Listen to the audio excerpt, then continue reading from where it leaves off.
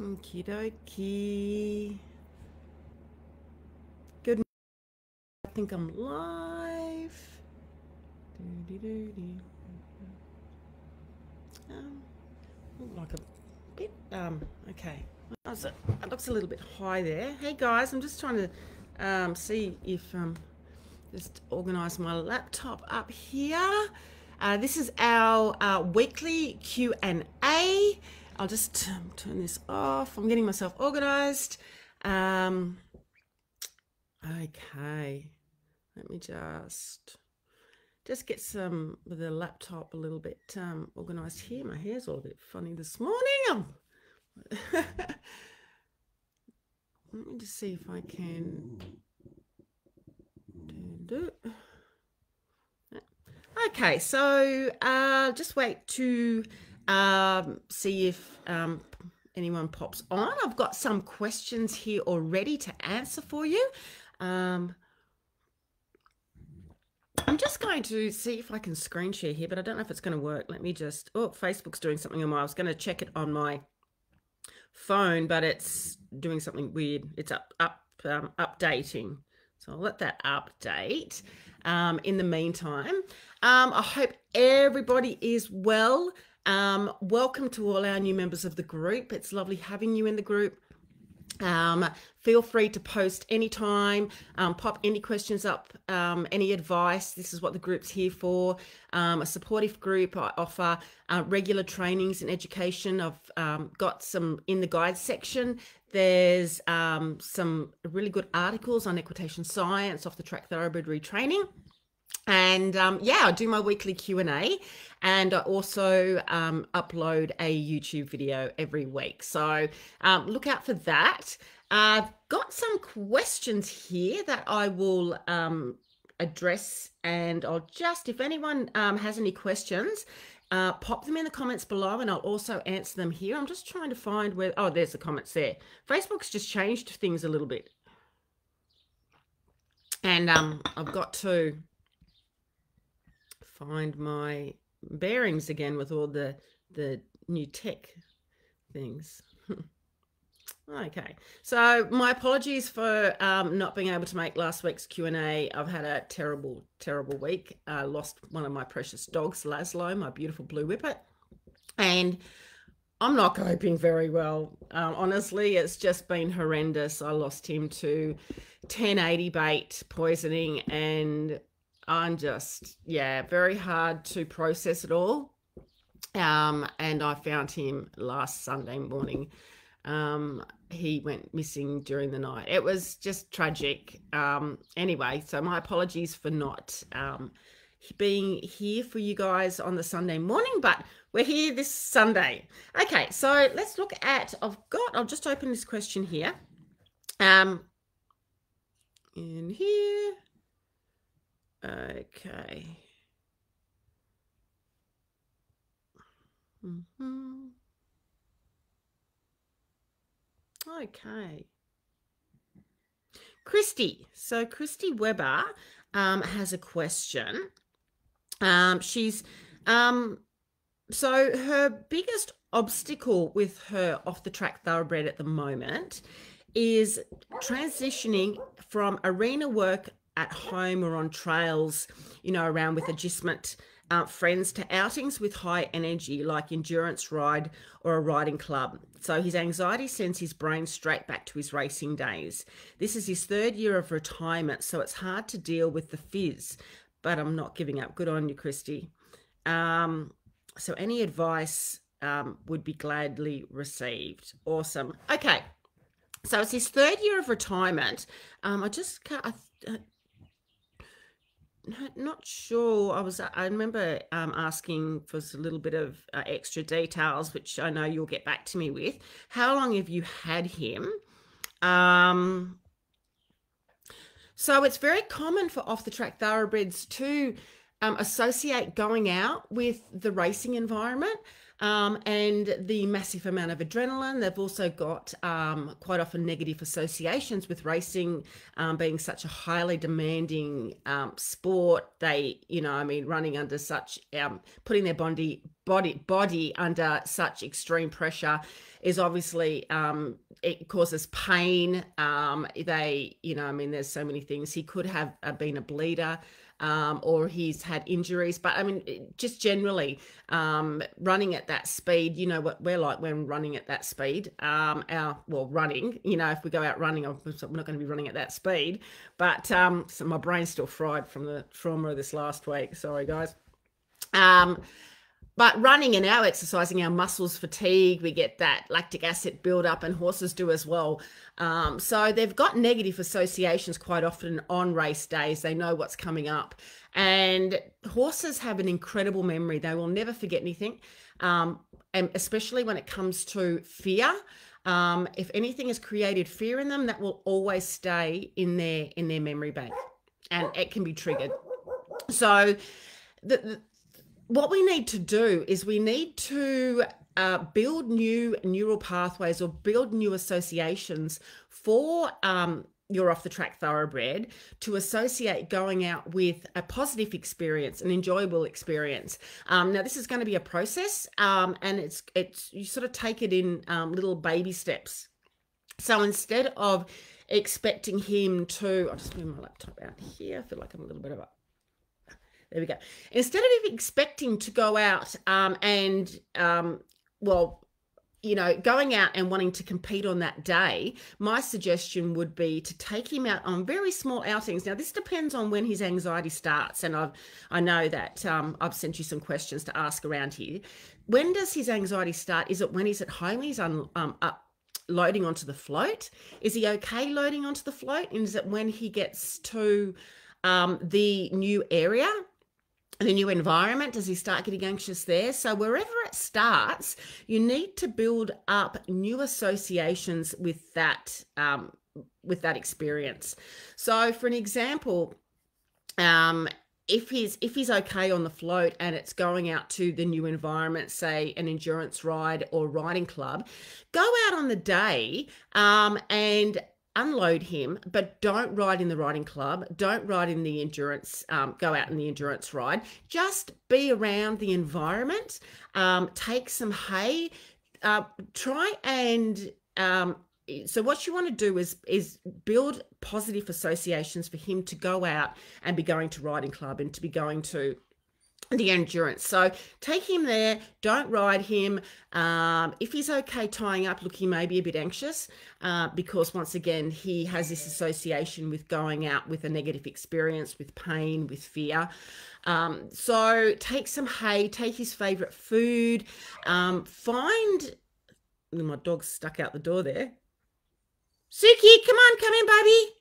I've got my dogs everywhere here. I've got, um, God bless them. I've, I've had seven dogs. I lost Laszlo, but I have six dogs here now with me. My still my six. Come on, Six. And she's stuck outside. She won't come in. Suki, come on. Suki, come in the door. Good girl. Good girl. Do you want to say hello? I might bring Six. Come up here. Do you want to say hello to everybody? Oh, just get it. She's all. They're all rescue. Come here, Sukas. She's a little bit Hello, darling. I know you're such a good girl. Hey, I say hello to everybody? And I'm my little fluffy one. Ruby wants to come up as well. So here's little Suka. Suki loved Laszlo. Ah, she chased him around everywhere. I know, Luba. Luby down. So say hello, this Tuki Luki.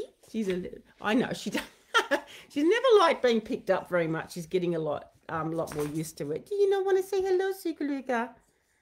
Suki. Hey. Oh, why no? Put you back down. She doesn't want you. Want to sit on Mummy's lap? No? There. There you go. Eh, my little rescue girl. One of mine. They're all rescue except for Bailey, hey? And Lazzy Lulu.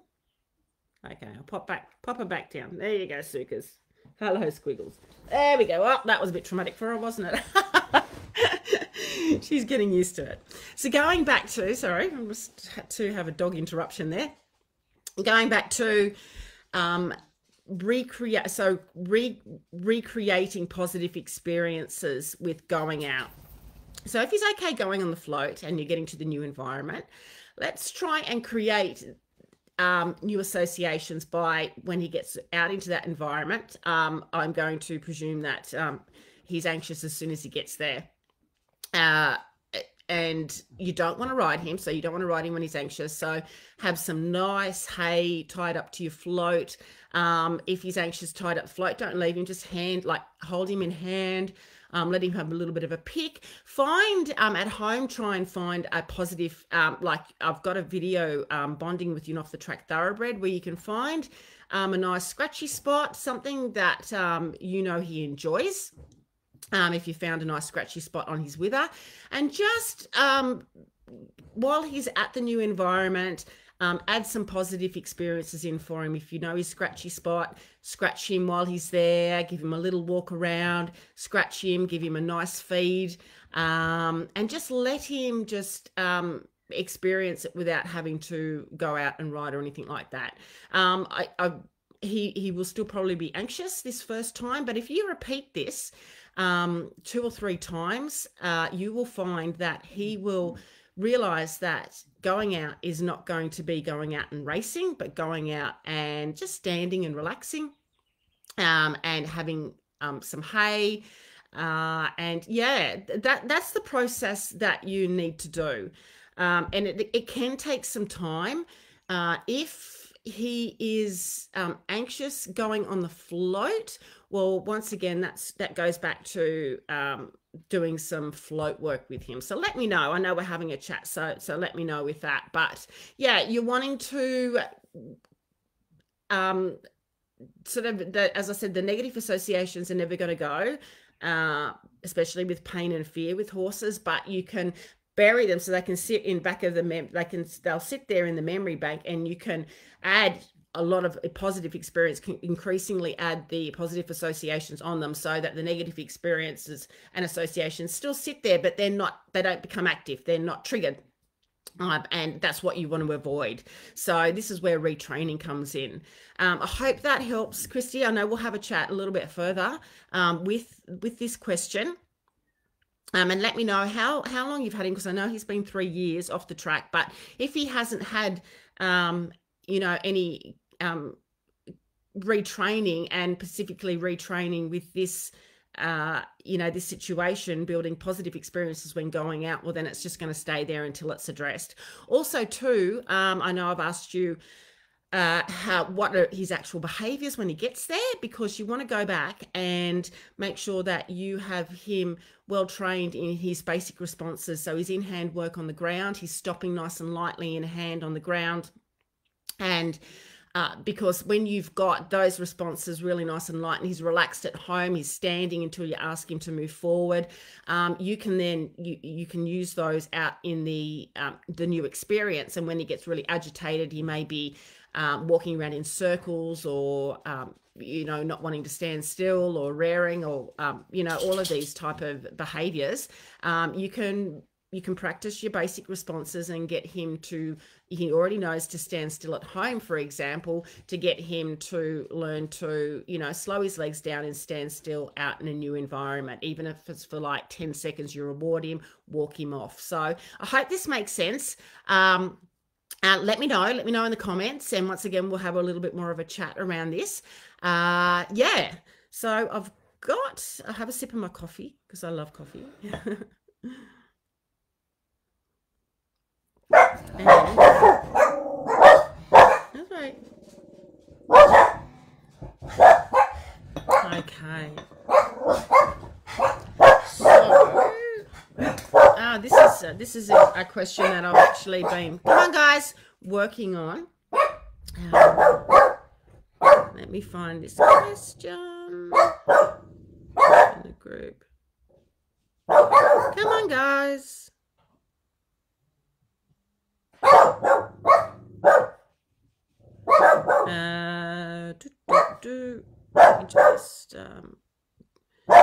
into my group. Sorry, guys, I'm just finding the question here I know, but I want to read it out correctly.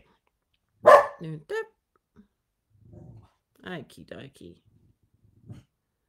Okay.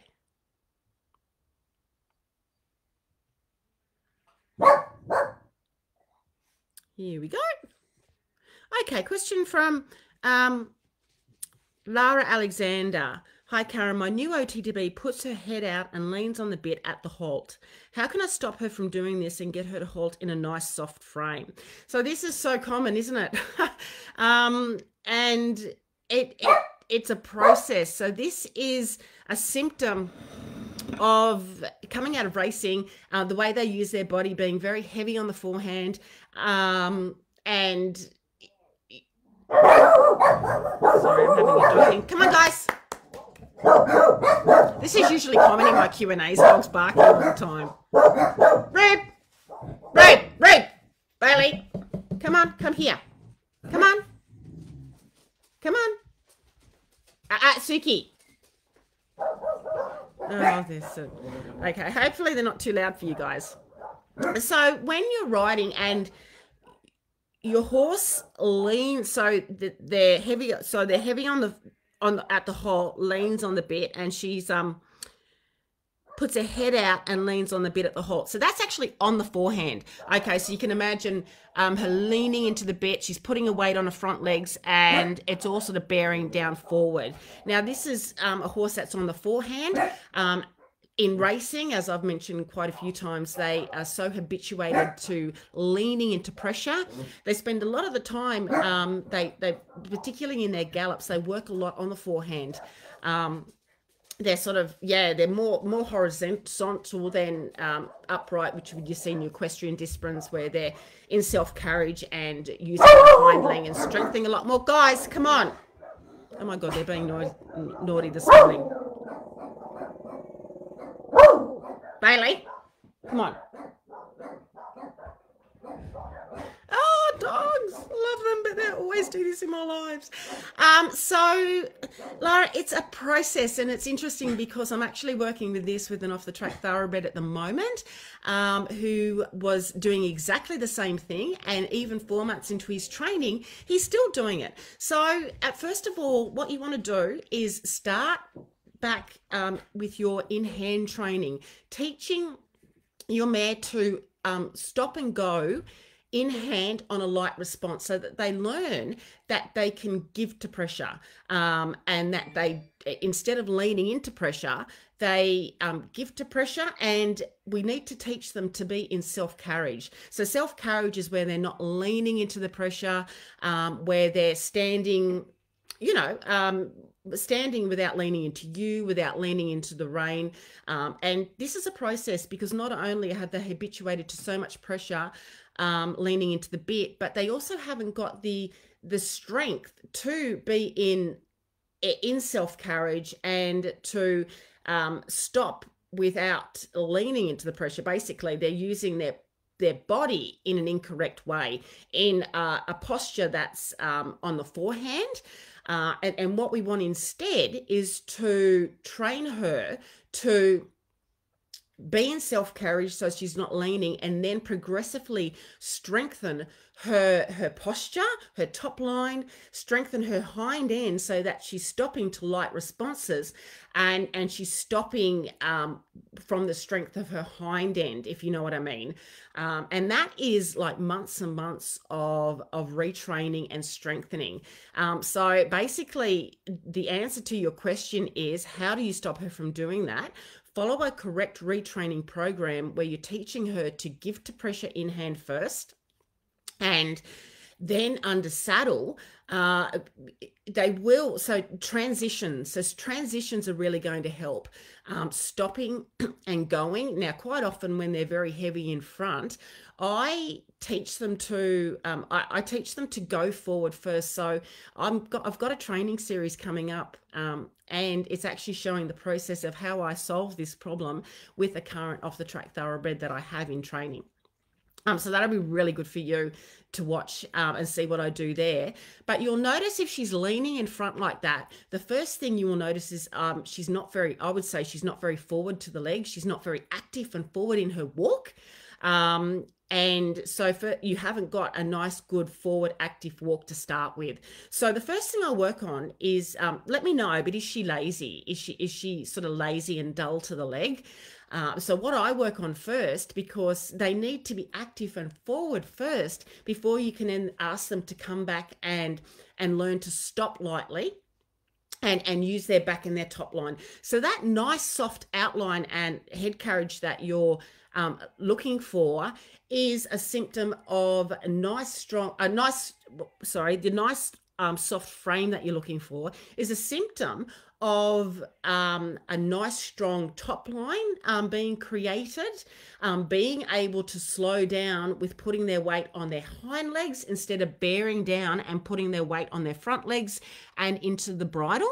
Okay, so she actually uses um, off the track thoroughbreds once again have habituated to so much um, bit pressure um, and they use the bit and leaning on the front end as as a way to to, to help balance themselves in a way. They've sort of um, used it as a, a, crutch. So we need to teach them to um, be in self carriage um, and sort of be independent in sort of the way that they stand. Um, and that comes down to starting off with your in hand work I've got a little, I linked a little video um, in your comment yesterday, Bailey, um, which just starts with um, stop and go in hand with um, one of my horses, Tommy. Um, but as I said, I've got quite a bit of retraining coming up with how I um, how how I fix this. Okay, and fixing this is it's actually months of, um, it doesn't have to take that long, but it is a retraining process.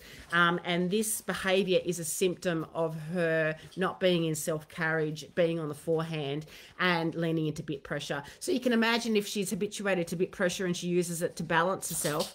Um, asking her not to do that and to stand there um, and shift her weight back onto hind end, okay, is is a new behavior for her. It's a new way of holding her body. And also, too, you want to make sure that she is um, not in pain. You've done body work with her. Is she comfortable in her hind end? Um, off the track thoroughbreds will quite often have sacroiliac issues. They'll have some issues in their in their hind end. Um, is she weak in her hind end? Does she look like she hasn't got any top line? Um, she hasn't got any nice muscled rump. Um, yeah, let me know, Lara, what um, what her her physique's like and what her posture's like. Just in general, you're more than welcome to send through a video to me um, of her doing this, um, and um, just gives me more of an idea. But I pretty much think I know what's happening. Um, because we need to retrain off the track thoroughbreds to use their body in a completely different way, and we need to um, remuscle them, redevelop, redevelop um, their, their muscular system system and and their posture. Like us um, if we're going to the gym this takes time uh, you know uh, for instance if you've got a bad posture um, someone's been walking around for years and years in a bad posture um, and they go to a body worker and um, uh, someone that works with posture and things like that they have to continually going back um, you know for continual lessons or or sessions to um, train the body to carry themselves in a new way so you need to do that mentally. Okay, be aware of how you're you're carrying your body, and um and and catch yourself and retrain it. But it's also building neural pathways because your brain builds neural pathways of how your muscles and your body moves your locomotion. And also too needing to retrain. So just say you've you've um, been very stiff in your back and you've carried your body very upright. Your muscles are going to be locked in there like that. So you need to um, retrain just say more core mus- musculature um, which may be very weak if you've been carrying yourself in an unhealthy way and it's the same with the horse. Um, so not only do you have to change mental your, your mental processes of awareness um, you need to redevelop the musculature physically. Um, and the same with the horse. They need to um, build new neural pathways on how they move, um, and they need to change their musculature with that um, so that she, um, they can stop um, in self carriage instead of being on the forehand and using the bit as a, as a you know, uh, a sort of a, a crutch to help them balance. And the thing is, we um, we need to be on top. So because we, as the trainer and the rider, we need to be continually aware of what they're doing underneath us and asking for the correct response and feeling. You know, if she's leaning, um, make sure you've got a nice, good forward walk first, and then asking for your transition, stop and go. But if she's already on the forehand in her walk, okay, you're going to get a very heavy stop. If she's nice and active in her walk, you can start to feel like um, she is um, you can start to feel like you can slow her down without that leaning pressure. So for example when you do this you don't want to worry about her nose being stuck out. Instead you want to feel like that she can stop um, with rein pressure without bearing her weight forward. Now, once you've got that, you then go up and and you shape that as she becomes lighter with the responses to the to the soft head carriage um, and that soft frame. Now, this is um, definitely a process, and I can't wait to get the training videos out to you guys on how I actually do this with um, the off the track thoroughbred because it's exactly what he's doing, um, bearing down into into the bridle and the pressure. He's a lot better now, um, but um, yeah, I, I, am really excited to show you um, how I solve that problem. So I hope that answers your question, Lara. Let me know in the comments. Um, let me know um, if if that's given a clear idea of um, your um, what's happening and how to solve it. Uh, there is some, if you have a look in the guides section, I've got some guides on equitation science because that's the principles that I use. So you want to train um, with your off the track thoroughbred, you want to go back to your basic response training and retrain those to light responses. So you're stopping in hand on a light response, you're going forward on a light response. And when I mean a light response, so you're not feeling that leaning um, you're slowing their legs down um, with just the, the slightest amount of pressure. Now, when you've got control of the legs, okay, and your horse is slowing their legs down to a light pressure and they're not bearing into the bit or into the lead rein, that's when you can start to work on the the soft frame and the head carriage, but until they're stopping lightly and you thinking about what's happening with their legs, um, you can't get the frame without being able to um, have control the legs in a proper way. So the frame comes after um, you have um, the nice and light responses with with slowing their legs, with going forward with a nice light response, and with turning and things like that. I hope that makes sense. It's really, it's actually quite good when I explain it in a video um, because when I'm doing it, because you can actually see what's happening. So that's coming up. Uh, okay, so they're my questions for this Q&A. Uh, they haven't got any more questions popped in, so I might leave it there. And let me know it as i said you can pop uh, any questions in anytime throughout the week i always pop a reminder in with the q&a the day before but let me know what you would like me to talk about um, and i will address it in um, the following week's q&a or the next q&a coming up uh, once again i'd like to um, give a big welcome to all our new members. Thank you so much for being part of this group. Um, also, too, what I would love um, to see is what you would like to see in the group. Um, let me know um, what um, what helps you um, what um, activities you'd like to see in the group um, because uh, you guys, this group's here for you guys. Um, and um, the more feedback that I get, um, the more that I have an idea of, you know, what can help you.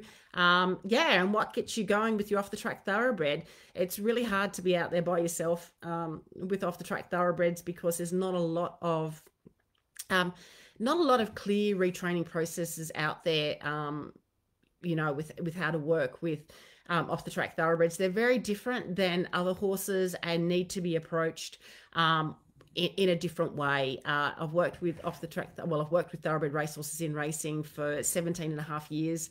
I'm going on 18 years now. Uh, and yeah, I know them so well. I just love them so much. And they just make amazing horses after they leave the track, um, but they need retraining. That is so important. They don't know anything other than racing unless they've been um, correctly retrained afterwards. And uh, and racing life is very different um, to what we expect of them in the equestrian field. And they also um, come out of racing quite often with what I would call PTSD. Um, it's a very highly stimulating, demanding environment. So we need to be aware of that and be patient with our off the track thoroughbred and know, um, have a path to follow um, so that you know the correct way to be able to get through your issues that you're having and come out the other side um, successful. So that's what this group is here for, and that's what my trainings are here for. So I hope everyone has a lovely day or a lovely evening wherever you are in the world, and I will see you in the group, and I will see you next week for our Q and A. Okay, bye.